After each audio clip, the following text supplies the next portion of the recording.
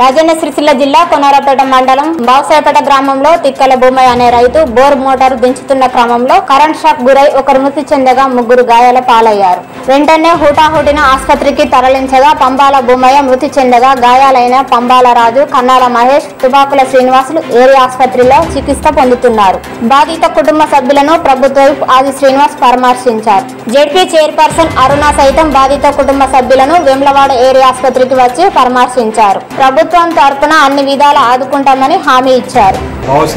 గ్రామానికి సంబంధించినటువంటి నలుగురు యువకులు దినసరి కూలి చేస్తూ జీవించేటువంటి పరిస్థితులలో పేదవాళ్ళు బోర్వెల్కి సంబంధించినటువంటి కూలి పనికి పోయి తీసే క్రమంలో విద్యుత్ ఘాతానికి ఒకరు చనిపోవడం ఇప్పుడే వారి కుటుంబాలు కూడా పేదవాళ్ళు పరామర్శించడం జరిగింది.